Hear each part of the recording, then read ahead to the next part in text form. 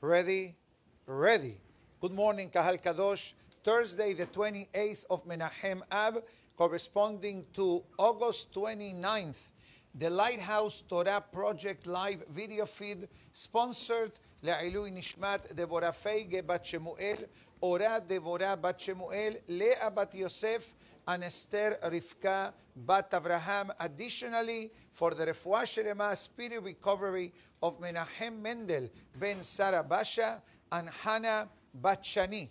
The iTorah.com live audio recording, sponsored for the Shidduchim of Nehamadina Bat Hanabatia, Eliyahu Haim Ben Esther, Rachel Penina Bat Jenny, and Sarah Simcha Bat Sophie. We begin the class by wishing a hearty Mazel Tov to the Shachtel and the Kochen family for the birth of the baby girl that we had the naming a few moments ago. This is going live in Facebook and YouTube later, I believe.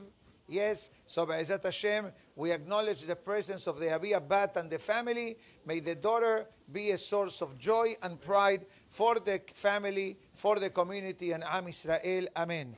As we know very well, this Shabbat and Sunday will be Be'ezat Hashem, Rosh Chodesh Elul, Hava Alenu Letova, and Selichot scheduled for Monday morning, Be'ezat Hashem, the, and the opening day also of the Ezra Franco Sephardic Kollel at the Edmond J. Safra Synagogue. So, Be'ezat Hashem, we keep the kahal, the kahal posted of all the upcoming events and programs connected to the Kollel and the synagogue.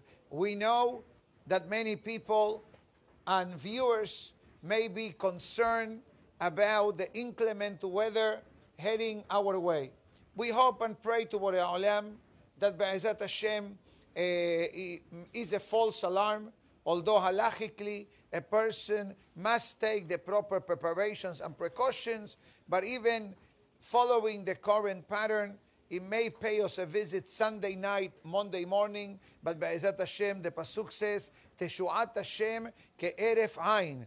The Hashem's salvation, Hashem's redemption comes like the blink of an eye. So, Be'ezat Hashem, we pray to Borei Olam that it should only be a temporary uh, situation that moves far away from mankind.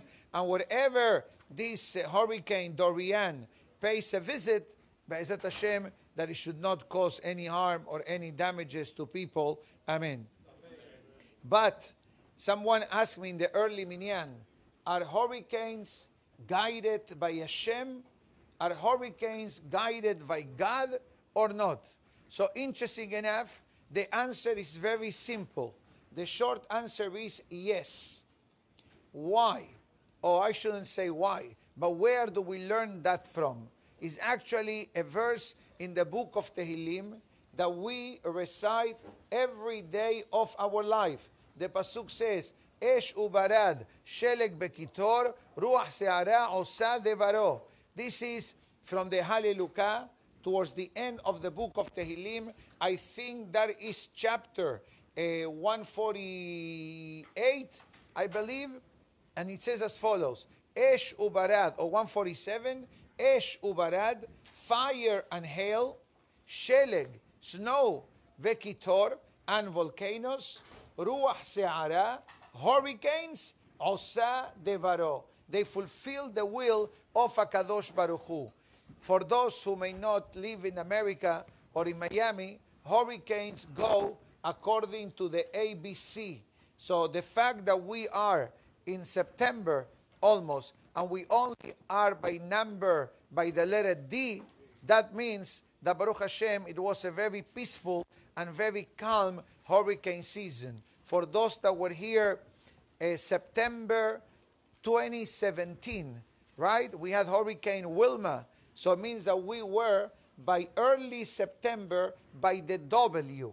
So make the calculations how many names were given in 2017 and how low we are in 2019. So Be'ezat Hashem, if the intention of sending a hurricane uh, is a wake-up call, because at the end of the day, if you look at the pattern of the hurricane, it looks literally like a shofar. That's how it goes. That's how the hurricane is drawn in the weather channel. This is how the hurricane is drawn. I'm not exaggerating. Open your phone, go to the weather channel.com, weather, and you see this going on. Now, on this shape, there is a shi'ur by the Ben Ish Hai that explains the concept and the shape of the shofar. Let's do a shofar, which is not much different what I did, but let's do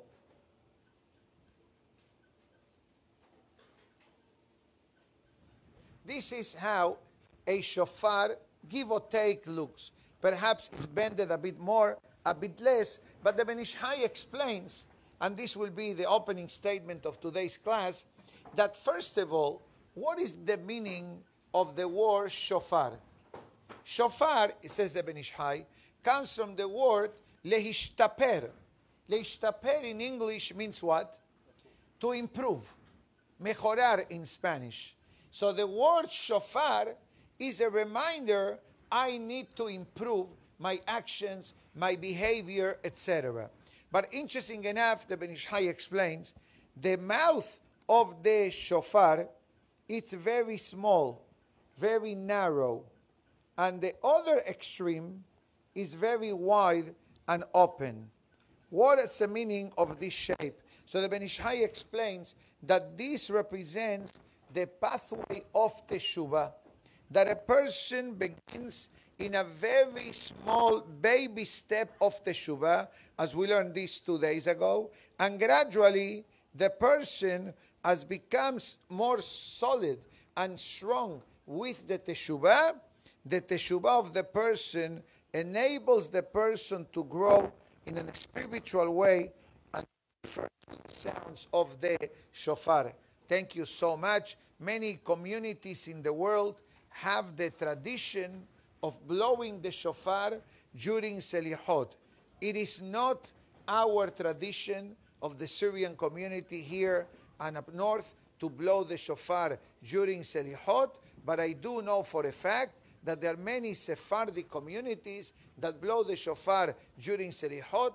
Halachically, there is no obligation to do so, but perhaps the reason why they do it is to start warming up to the upcoming season of Rosh Hashanah and Yom Kippur. We know that in the Ashkenazi community, I don't believe that they blow the shofar during Selihot, but they blow the shofar, right, at the end of each day of Shaharit prayer during the weekdays. So whichever costume or tradition a person follows, Obviously, the whole idea of the shofar, the pasuk says, "Uru yeshenim mitardumatchem." What does it mean? The shofar, it's like a wake-up call to the person to remind themselves that we are getting ready to meet the Creator in the sense of the idea of Hashem looking at us, looking at our account, looking at our life,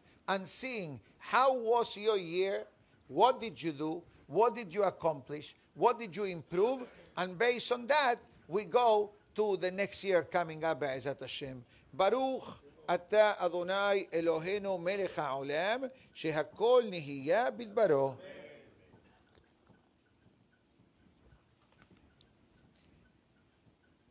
Before we go to the Zohar of today, I'd like to discuss very briefly a message of the Gemara of today.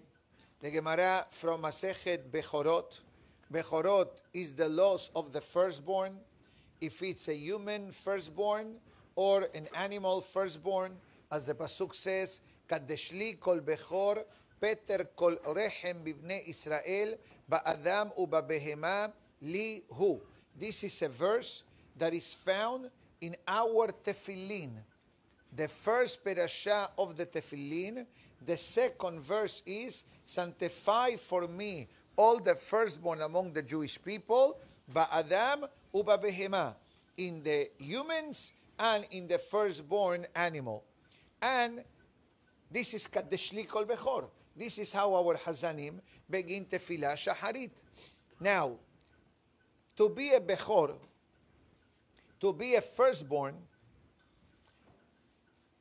it's something that happens in a family that the mother, through natural causes, meaning to say no C section, gave birth to a baby boy.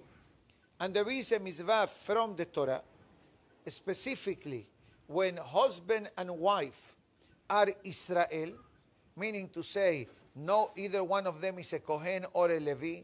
If they are Kohen or Levi, there is no mitzvah. But if both parents are Israel, then they have to do the mitzvah of Pidyon Haben.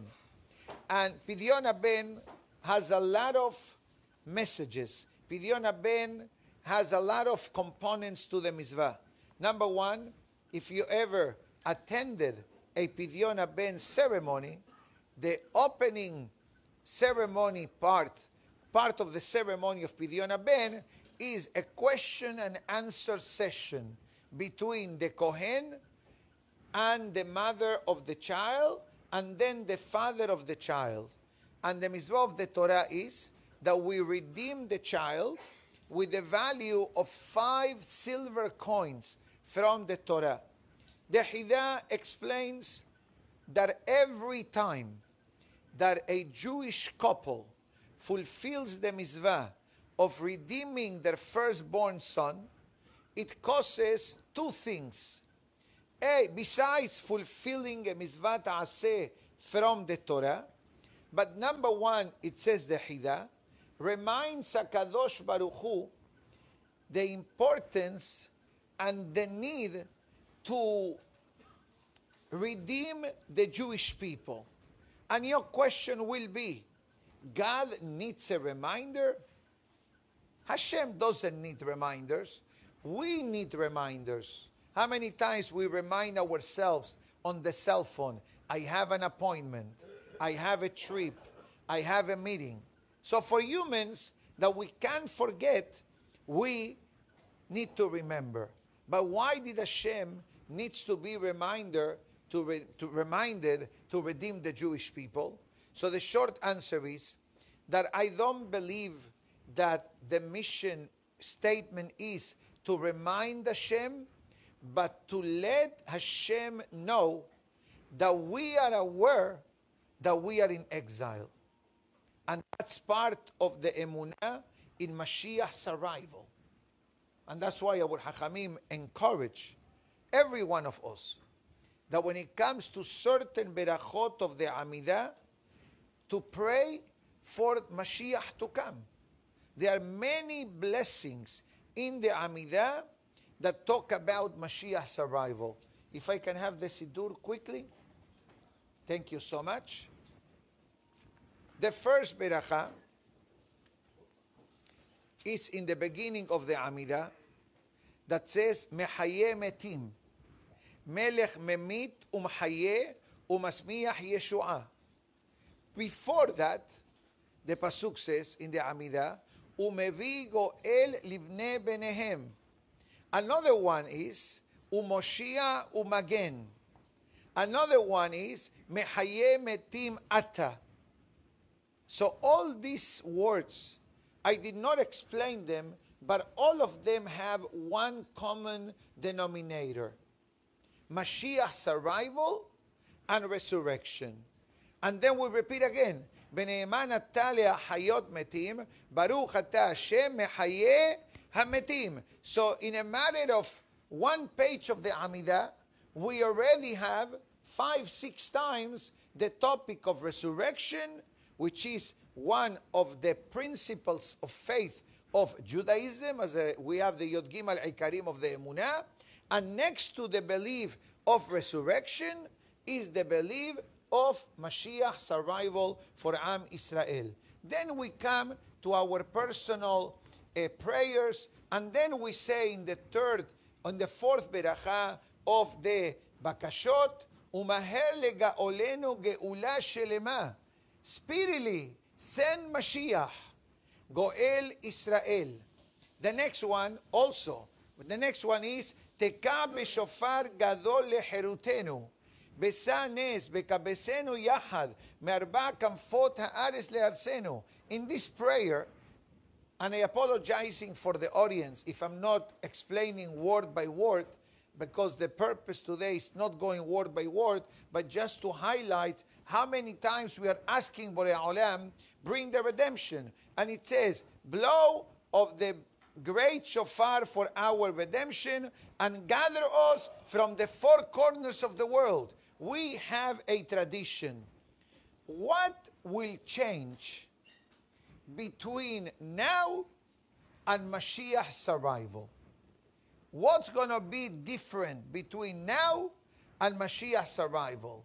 I have some good news to tell you, as the song says. Mashiach is on the way. Some of you may know this song. I'm so good news to tell you, Mashiach's on his way. Okay? Chazako Baruch.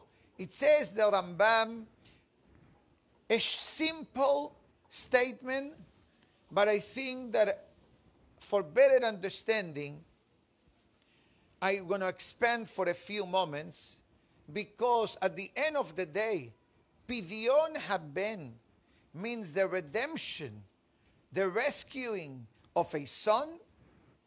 Mashiach's arrival is Hashem rescuing Am Israel from the dangers of Galut. And the Pasuk says, Beni, Bechori, Israel. Am Israel are considered, so to speak, the firstborn of Borei Olam, Kaviyachol. So Mashiach, eh, the Rambam says, somebody's there, please, behind you. Yes, thank you. The pasuk says in the Rambam towards the end, "Olam keminhago holech." The world continues its natural course, meaning to say, we're going to have to eat, we're going to have to get dressed, we're going to have to live and to work, I'm not sure if we're going to handle money when Mashiach comes. It's going to be all cryptocurrencies. We don't know that, how it's going to happen. I don't know that. Uh, nobody knows that, the Rambam says. The Rambam says it is impossible to really know how things are going to be when Mashiach comes because it's all about, Be'ezat Hashem, the future of Am Israel. But one thing is for sure, that in the beginning, everything will remain as of now, with some differences. The differences will be in the quality of life of mankind.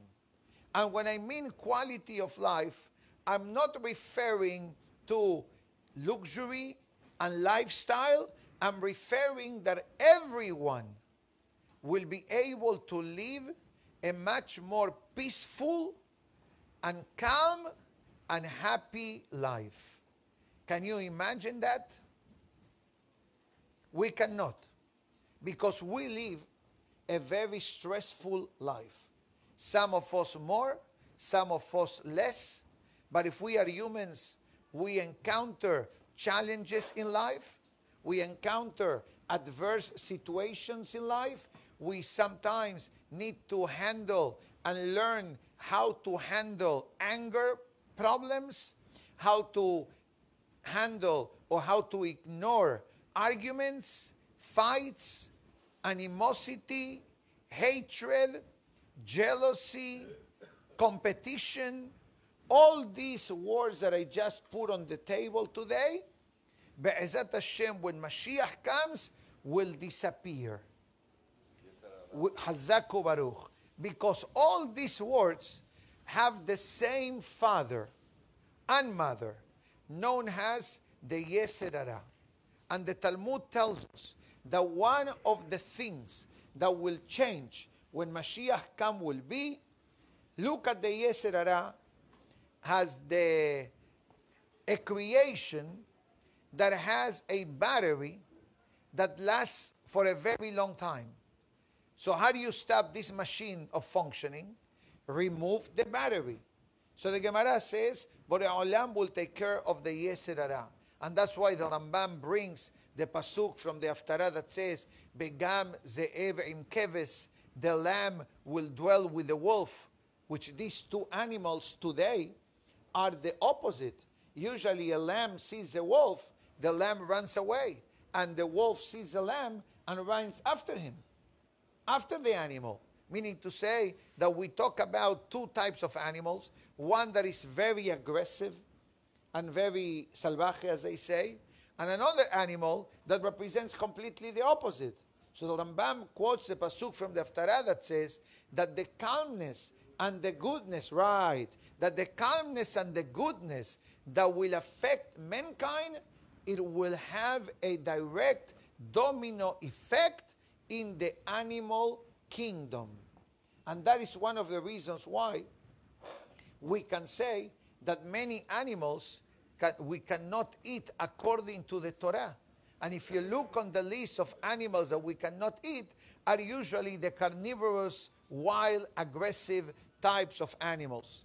We'll continue with the uh, beracha, and we say, Umloch alenu, and Hashem, we want you to be a, a, a king of us, behesed, with kindness, with compassion, with righteousness, etc. Another beracha, another beracha.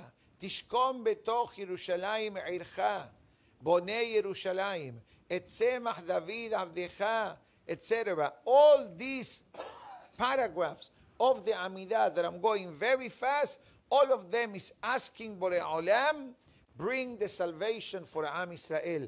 That's why our rabbis tell us that in these two blessings that I just read, Tishkom betoch Yerushalayim ericha, dwell in the city of Jerusalem.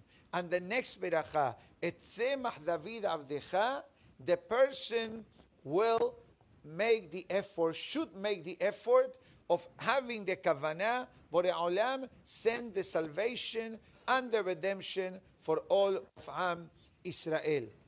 Continues. And then we have the concept of Modim.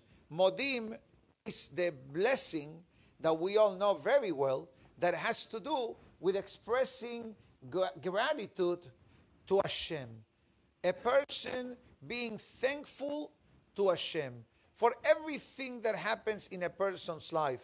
So powerful is this prayer that we know very well that whenever the Chazan does the repetition of the Amidah, the mission of the Kahal, of the congregation, is to listen, obviously, not to speak, and not to talk, and not to read, but to listen to the repetition.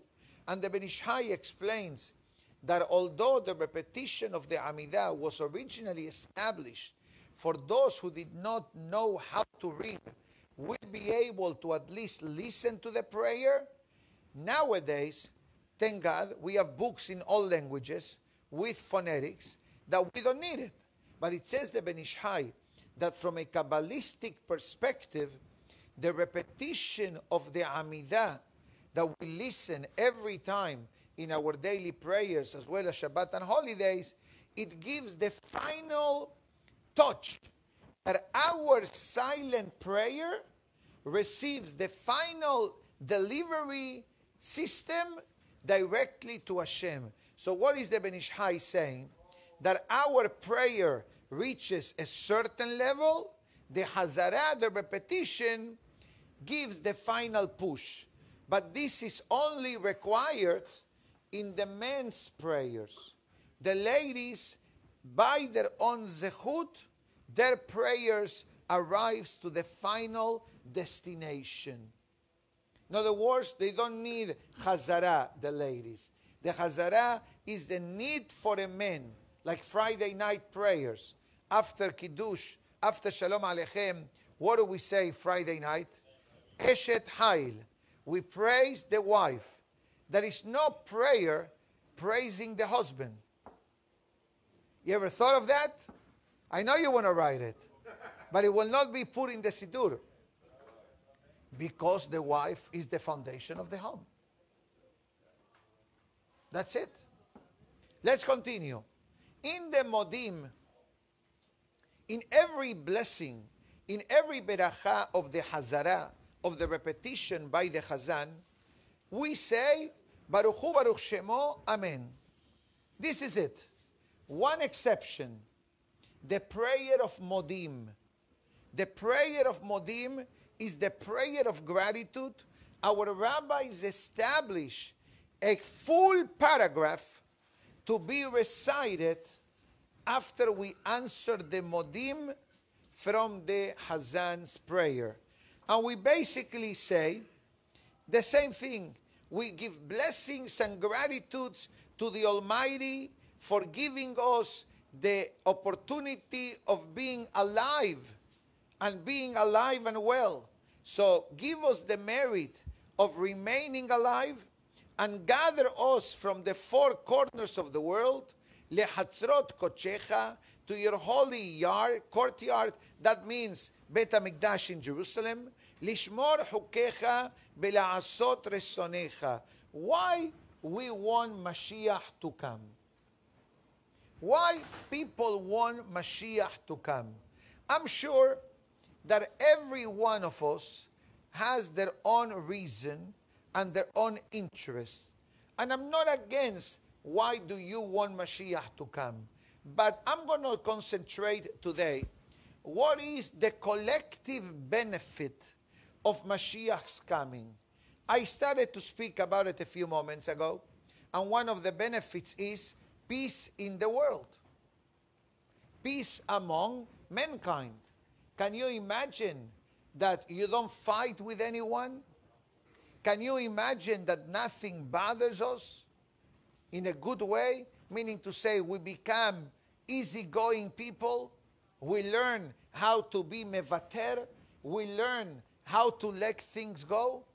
And we don't have an impulsive reaction, but we have a positive collective reaction. And if we see someone that has something nicer or something special, we feel and sense a true happiness for them instead of asking ourselves, I need to have it, or why him and not me? I know that what I'm saying today says, Rabbi, if, how can you expect that to happen with the status of the world? Today, the world is a very consuming generation. We spend money left and right. In the olden days, you needed to go to a store to buy and to spend money. Today, you don't have to leave your home. Stay in pajamas all day and you can spend a lot of money. Right?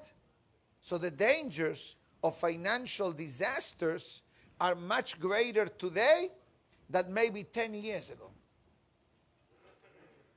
Also, animosity from nations. We have hiccups going on in Israel these days. Syria, Iran, Iraq, Jordan, Lebanon, all these things are, are, are, are not a simple thing to ignore. So when Mashiach comes, we're going to have, God willing, sooner or later, this beautiful lifestyle of peace, harmony, love, no more illnesses. That's a guaranteed benefit from Mashiach's arrival. Death will be abolished. No more tears. Can you imagine? No more tears. People cry. Why people cry? Out of pain, suffering, sadness, etc. What are tears? Tears is a bitter fluid that comes from the eyes of the person. You ever tasted tears? Salty. Hazaku Baruch. Salty instead of sweet. The Pasuk says, Umaha Hashem dim'a me'al kol panim. God will wipe away the tears of every face. I can say, I believe, that tears is the outpouring or overflowing of stress in the life of a person. Guess what? When Mashiach comes, stress will disappear. Be'aser mimenu, Sara, Yagon, Ba'anaha. Remove from us Sara, suffering, anguish, and stress, or sighing. Ah, uli, oivei. All these verbal noises and words that we say, and they all mean the same. A headache. Comes the tefillah and it says, ותאסוף גלויותינו לחצרות קודשך. God give us the zechut of being from those that are gathered from the four corners of the world to Jerusalem. For what purpose? Lishmor hukecha bela'asot resonecha. We want to be close to you. We want to be your true followers. Ul'obdecha belevav shalem. And to serve you without any doubts, without any hesitation, hesitation, or without compromising any aspect of our spiritual life, al modim lach, in which we are again thankful to you, Baruch kel ha'odaot. Blessed be the Almighty of gratitude and kindness, etc. And then we continue with the final part of the prayer. So every time the Hidah says that we fulfill the mitzvah of Pidyon Ben, we are sending a reminder to Hashem, God, we are in Galut. And the question was asked a few moments ago. God needs a reminder? Obviously, Hashem doesn't need a reminder. Why? Because reminder is necessary only of the possibility that a person comes to forget. And we're going to say in the prayers of the high holidays, Ki en shiha lifne kevodecha. There is no forgetfulness by God. God remembers everything that we forgot. Forgetfulness is a human trait. Now, forgetfulness is it good or not good? Depends. One of the reasons why Hashem created the forgetfulness in the life of the person is for the person to have the power and the strength to overcome personal tragedies and to forgive and to forgive, to forget. Obviously, to forget things sometimes is good. A person forgets about an unpleasant moment, or a person forgets that had an altercation or an argument with someone, you move on in life. That's beautiful. But I ask you a question Can you afford to forget your wife's birthday? Can you afford to forget your wedding anniversary? You better not. You may afford to forget that one, but I don't think that it's a good recipe. Obviously, there's certain things in life that we cannot forget. And I brought marriage and birthdays because it's a common, happy, pleasant a reminder. Usually, you know, somebody commented me on a class that I gave a few weeks ago, and I wasn't happy with the reaction of this fellow. And he said to me via email, if you would have known, if you know my wife, you will not think like that. So I wasn't happy. I'm sorry to the wonderful ladies. I wasn't happy that someone can think this way about their own marriage in a negative way. Has shalom because we have a rule in the topic of Shalom Bayit. Whenever there are hiccups or situations between husband and wife, the worst thing that a spouse can do is to blame the other spouse. We all know this for years, talking about this topic and learning Began Shalom and many other books of Shalom Bayit. The blaming game is not a real good of solving situations in life. And where do we learn this from? Actually, from the Selihot. We say, Mechase pesha'av yasliach, umode ve'ozev yeruham. A person, Mechase pesha'av means a person that covers their shortcoming. What does it mean? It's not my fault, it's his fault, it's her fault, it's the weather fault? Is the my mother-in-law's fault? Is the wife's fault? Are the kids' fault? Yani the person always points a finger and fails to say, you know what? I made a mistake, I will avoid it in the future. And that is the meaning of the second part of the sentences. Umode ve'ozev. And a person who recognizes their shortcomings, ve'ozev, ve'ozev, and takes an effort to change, Yeruham. Hashem will open the faucet of mercy on the person. And I want you to know this pasuk, although is about selihot and about the sins and transgressions that a person may do through life. But I want you to have this pasuk in your brain when it comes to challenges in our private and personal life. Before I go further, we have a few more minutes, if you don't mind. I'll keep it short, maybe five more minutes. Be'ezat Hashem. The Hida adds one more benefit when we fulfill the mitzvah of Pidyon Haben. It says the Hida that whenever the Jewish people redeems their child, is also atoning for the sale of Yosef Hasadik.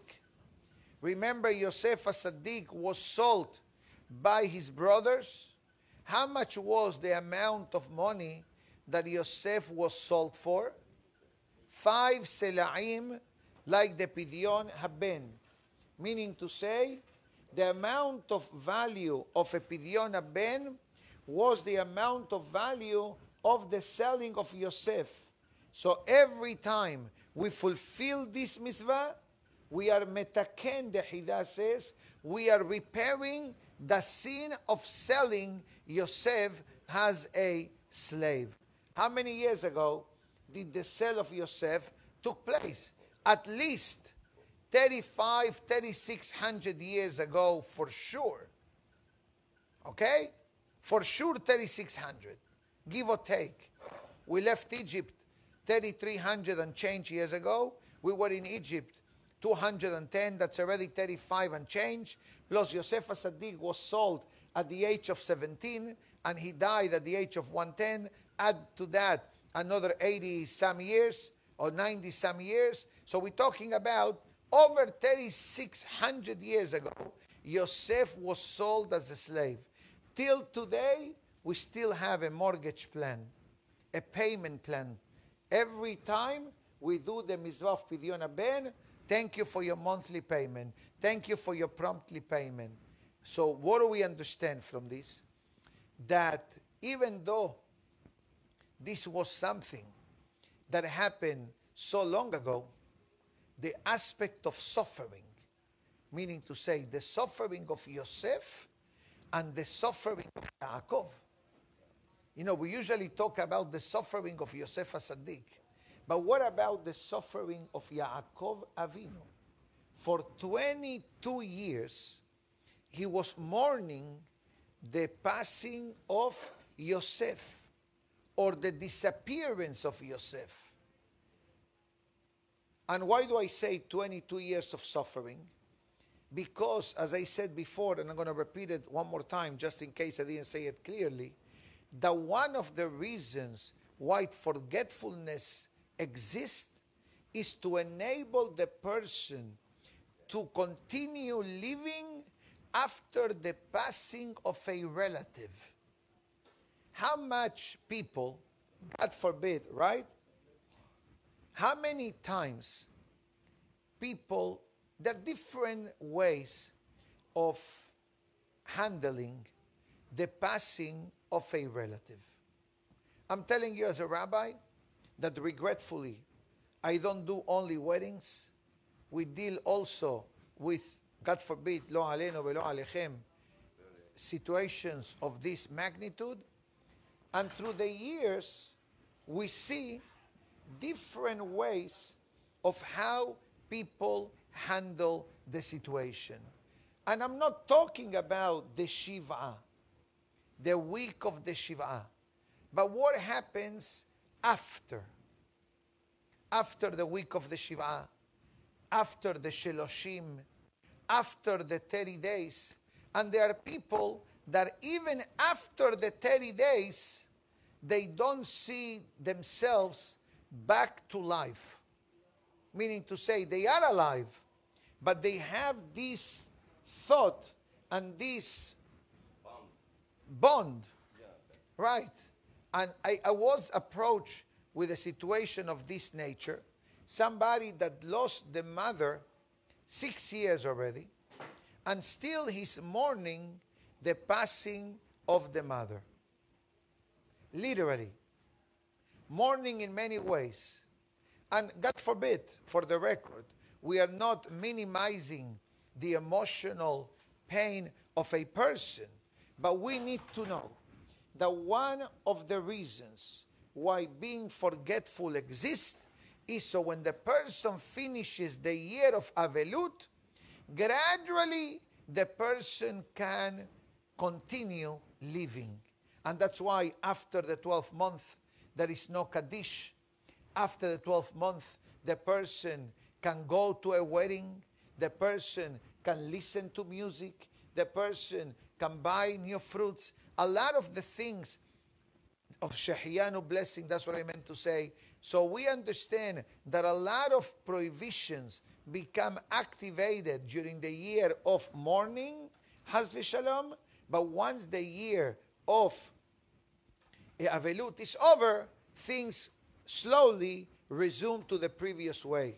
But I like to conclude with one more concept that the fact that Hashem does not forget anything is a given. But guess what? Sometimes to receive something, we need to ask for it. You follow me? It's like you work for a company, right? And you say to yourself, oh, probably they see how good I work. Probably they see how dedicated I am. I ask you a question Is that a guaranteed bonus or salary increase or promotion? Let's be honest. And I have a lot of businessmen around me. All of you are shaking the head, meaning to say, it really doesn't happen unless it was discussed, unless an arrangement was made in advance. If you do sales from this to this, you get X percentage. If you do more, we'll give you more, etc. But 98% of the time, the person needs to ask for the raise, correct? And the person needs to ask for that special bonus and recognition. Now, I don't understand. Don't the company knows that you were entitled to it or you're supposed to get it? Baruch. But you know what? We all do the same thing. We all ask. And that's exactly what we are referring to. It says the reason why we pray for Hashem, send the Geula, send the redemption, bring peace and harmony to the world, which is important to know, Kahal Kadosh, an audience, that Mashiach's arrival is not a benefit available to the Jewish people only. It's not like a, a lox and bagels or chicken soup or matzah ball soup. That's a usual typical Jewish food. Chopped liver also. Yes or kibbeh or whatever it may be. Mashiach's survival, chicken liver, thank you. Mashiach's survival. it is something that is going to benefit the entire world. Everybody. Jews and females, male and females, that's what I meant to say, old and young, Jew and Gentile will have the benefit of living a peace a life full of peace, full of harmony, full of love. And we say hello to the visions from the, the students from Israel, from uh, Tampa, Florida, Austin, Texas, Colorado. Baruch Hashem, beautiful, beautiful, beautiful. So, Rabotai, I'm reaching my, my goal today of the class. So, Be'ezat Hashem, pray that God willing, not only the hurricane dissipates and doesn't cause any more damage to any place that is visiting. And Be'ezat Hashem will reinforce in our daily prayers, praying to Borei Olam to bring peace and harmony and the redemption to the entire world. And it's fascinating how from one mitzvah, Pidyon Haben, from redeeming a firstborn son, we are already talking about the redemption of Am Israel. May it be speedily in our days. Amen. Have a great day, everybody, and Chodesh Tov. Reminder that Chodesh, Rosh Chodesh Elul will be Shabbat and Sunday, Be'ezat Hashem. ברוך אדוני לעולם, אמן ואמן. רבי חנניה בן הקשיא אומר, רצה הקדוש ברוך הוא לזכות את ישראל לפיכך. הרבה להם תורה ומצוות שנאמר, אדוני חפש למען צדקו, יגדיל תורה וידיר, קדיש. יתגדל ויתקדש. אמן. ועלמד آمين. يا هاشم مهرب بام براخ لعلام وللميع المياه يتبراخ.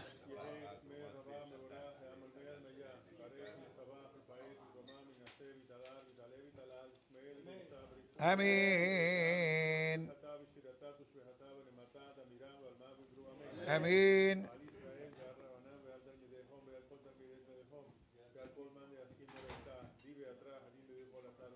يهلانا